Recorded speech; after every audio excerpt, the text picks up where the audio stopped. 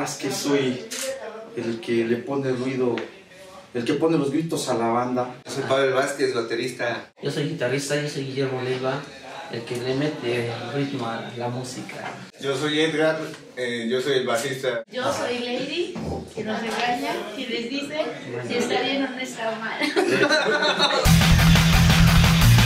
La banda se forma en el año de 1997. Exactamente el día no es importante para nosotros. El año sí, porque pues de ahí se desembocan todo lo que somos ahora, ¿no? Este, pues básicamente nosotros nos formamos por, por andar de huevones, por no tener nada que hacer y un día ya sabes, ¿no? Ya sabes, nos gustaba dar tamborazos. y. ¿Dónde nos vamos a, explayar, no? Entonces formamos el grupo. Básicamente el reto que se tiene con las bandas de Puebla es que en Puebla te- muchas bandas que estamos haciendo un esfuerzo por, por salir adelante, porque nos escuchen, pero lamentablemente hay gente que pues no, no, no pasa de sus grupos de fuera, de los grupos que supuestamente ya tienen más, este, más tiempo y que la banda conoce, pero este, en lo oculto, en lo, ahora sí que podríamos llamarlo en lo bajo de Puebla, hay muchas bandas muy chidas que solo están esperando encontrar una oportunidad para, para echarle, ¿no? A veces nos marginan, ¿no? Por ser de Puebla y como en todo, muchos prefieren lo fuera que lo que hay aquí adentro. Toda la, la banda de Puebla más que nada se enfoca en, en las bandas de fuera y no apoyan este, lo que realmente es de ahí. Lo local. Lo local, exactamente. No, no hay ese apoyo aún. Eh, las tocadas locales las puedes ver medio vacías. Eh, cuando viene una banda, no sé, del DF, por ejemplo, y las puedes ver llenas. Pues En el- acuérdate que cuando sabotean el audio, En el- eso, eso sí, mira, con Sí, todo sí, respeto, mira, hay güeyes que, que a las bandas locales les distorsionan el audio, es- hacen que se escuchen mal, para, para, para cuando toque la banda chingona, madre, se escuche chingón y toda la banda diga, wow, tocó, estos güeyes sí se rifaron, pero no saben que, que la banda local de Puebla, pues también somos rifadas. El complot es de los que hacen toquines, que pues lamentablemente algunos, no todos, trabajan de esa manera. Hacen que se escuche la banda local feo para que la que viene de fuera se escuche bonito. Pero, repito, no son todos los que hacen las tocadas, ¿no? afortunadamente no. Así como Son casos muy específicos. Así como hay banda, hay, este, podríamos llamarle organizadores que se portan chido. También hay organizadores También a los hay- cuales este, les puedes caer mal y también te sabotean. o sea, Exacto. entonces también depende de cómo te lleves con la gente. Que hay que reconocer que la mayoría de los organizadores se la rifan porque la Sí, verdad es sí. que la banda a veces no responde y ellos siguen, insisten, insisten, sí, insisten en hacer tocadas, en hacer tocadas, aunque no les vaya bien, aunque entren 10 personas, ya se avientan la que sigue y también eso es bien rifado, ¿no? También Sí, hay que no. dar un aplauso a todos los Ahora organizadores. sí que, que neta que, ahora sí como hay, hay malos, hay buenos, muy buenos, muy, muy buenos que hacen tocadas pequeñitas, que hacen un esfuerzo por traer bandas Así es. y, y aunque no sale varo, pero ellos lo hacen porque les gusta, ¿no? Sí, y eso ¿no? es y es que a veces salen hasta quebrados, ¿no? Porque de repente salen poniendo que el, sobre, que el equipo de audio, que no alcanzó, que, este, ¿sabes qué? Pues no alcanzó para este, darles viáticos, pues aunque sea, los invito a comer, les invito a la cena. nosotros tratamos o apoyamos más a esas personas que hacen esas tocadas pequeñitas. Nosotros no lo hacemos por dinero, ¿no? Lo hacemos porque nos gusta y si podemos ayudar, Pues también debemos de saber de que aquí en el rock and roll no hay lana, o sea, no es negocio, es por gusto, es por, por dar una opinión crítica. Pues yo creo que nosotros y, y la, invitado ma- muchas- y la mayoría de las bandas, ¿no? Hemos Si no es que todas, ¿no? Muy, muy, muy críticas, ¿no? Donde a veces hasta hemos ido a tocadas sin, sin transporte, ¿no? Incluso... Hasta regresarnos caminando. Sí, con tu. Sí, vienes con tus instrumentos, ¿no? Cargando, pero es algo que a nosotros nos gusta, ¿no? Irnos a parar a un escenario gustarles a la, a la banda, ¿no? Y, y hasta ahorita, hasta la fecha eh, de la banda hacia nosotros hemos, hemos tenido buena respuesta de la banda. Les ha gustado nuestro rollo, nuestro desmadre y, y claro que nosotros estamos comprometidos en seguir echando ganas, seguir sacando material para ellos, porque ellos, pienso que por ellos estamos acá, ¿no?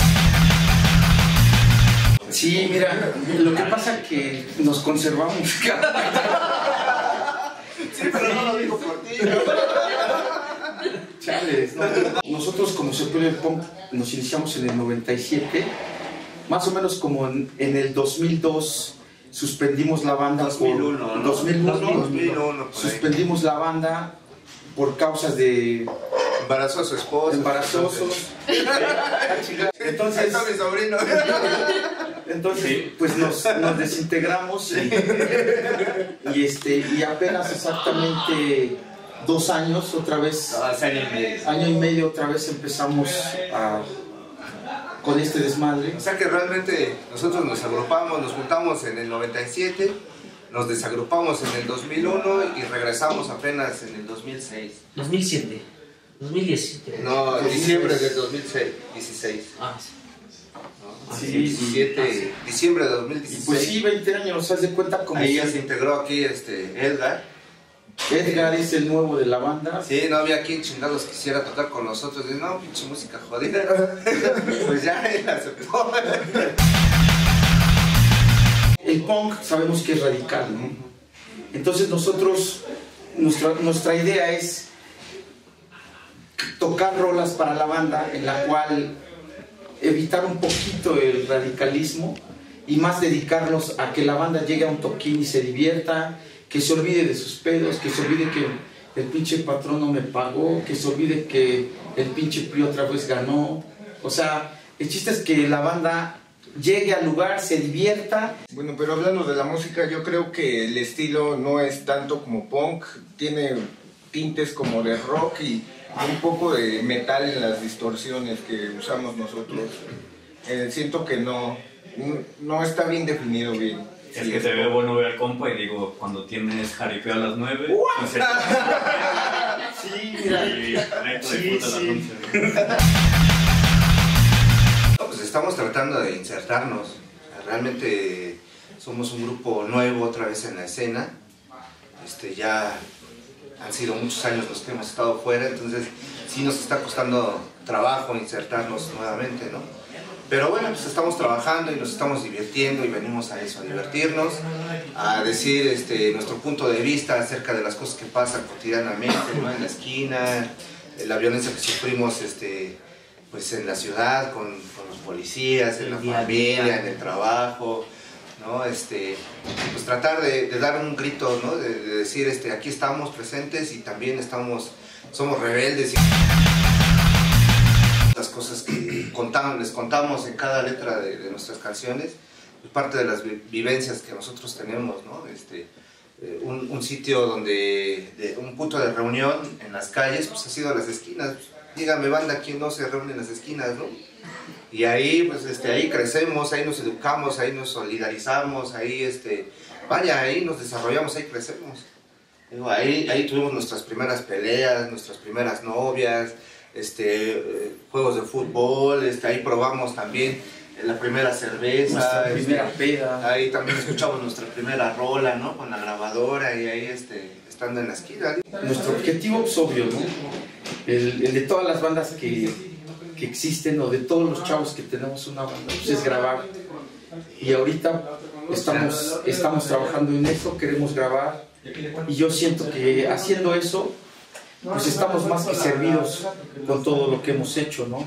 Una, una inquietud que teníamos era venir aquí a, a Rocópolis.